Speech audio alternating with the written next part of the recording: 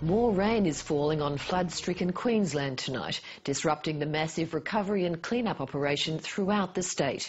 It's also delaying the return of residents to their homes in the town of Rockhampton, where the Fitzroy River level is expected to fall very slowly during the next week. Further south to the community of St George, where the Weather Bureau is now saying the local Balonne River isn't likely to rise beyond the predicted 14 metre peak, but Navy helicopters remain on standby for any evacuations. Shortly we'll be crossing to St George for the latest, but first this report from John Taylor. As if there wasn't enough water already, Rockhampton today woke up to more. But after weeks of turmoil, there's a glimmer of light. We've just had an update with the Bureau of Meteorology, and uh, to the best of our knowledge, the river has certainly peaked at 9.2. Hard in the mouth sort of stuff because that extra four inches, 100 mils in, in new terms, uh, is, uh, is the difference between having it in your house and having it out of your house for probably 50 people. But Queensland's flood crisis remains unprecedented in its size. More than 40 communities and 200,000 people have been affected. More than a thousand homes across the state have been inundated, thousands more cut off, and two entire communities evacuated.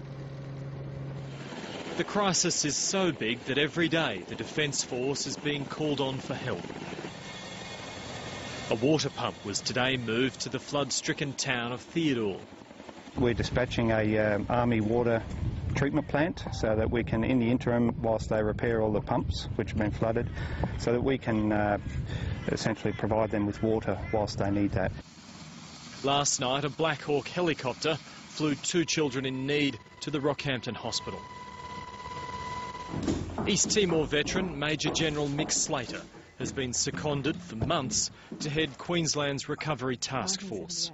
Time is of the essence uh, as we uh, progress down the, the recovery road. However, uh, it's very important that we get it right the first time. If we try and rush in and do patch-up jobs that become temporary fixes that don't help Queenslanders and don't help our communities well into the future, then we will have got it wrong. The Major General's work began in earnest today with the first of many planning meetings he'll take part in. The state government isn't ruling out buying damaged homes in flood-prone areas, but there are a lot of decisions ahead. Please uh, give me all the advice and, um, and hints that you, uh, you think you can manage. For days now, Rockhampton has been the focus of the flood crisis, and in particular, the suburb of Depot Hill, and the people who call it home. I mean, floods, in my experience, or any disasters, hit the poor the most. You know, low socio-economic base. Uh, they are battlers. They they're not people who you know bludge or anything like that. They're, they're just decent people. It's interesting that the potatoes are. Rob Schwarten has been the state member for Rockhampton since 1989 and is now Labor's Minister for Public Works. He was born in the city's 1954 flood and knows intimately that the city was built on a floodplain. Whether or not you can flood-proof Rocky, I, I, dare anybody to go down to Depot Hill and tell people they can't live there. You won't be able to fight. I go down to the Fitzroy Hotel and sit in that front bar and say, well, we're going to resume all your properties. As I say, you'd want to be able to blue a bit uh, because people love being there. My great-grandparents' house is still standing there that was put there in 1908. So they're, uh, you know, of itself, it's, it's a rather complex social issue. It's 24 in each one. I'll take the whole box, yeah. 96 when the 7.30 report approached him, the Minister was buying chocolate to give to families at the recovery centre. His finances are okay, but he says the flood crisis is going to hinder his government's pledge to get out of debt and restore the state's fallen credit rating.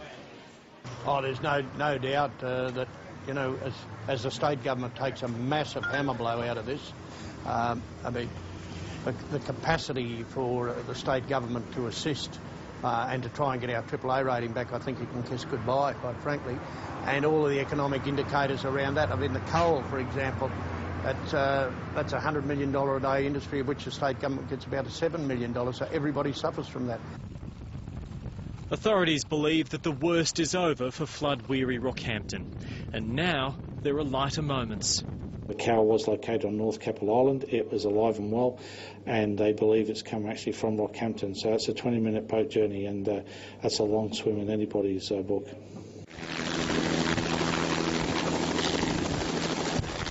Last week, the rural town of Theodore, with a population of around 600, became the first town in Queensland history to be entirely evacuated.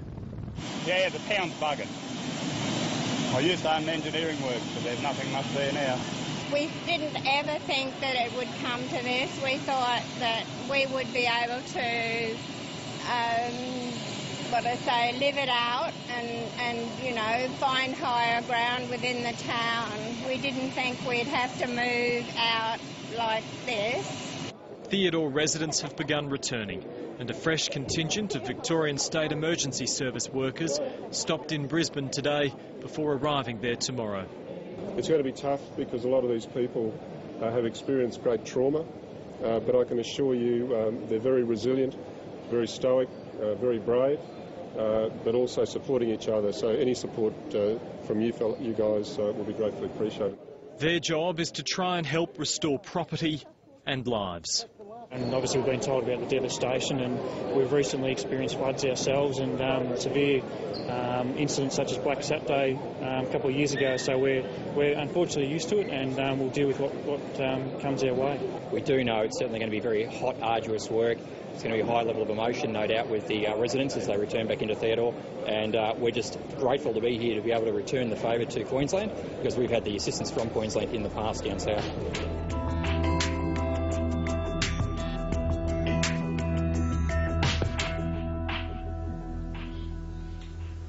John Taylor with that report.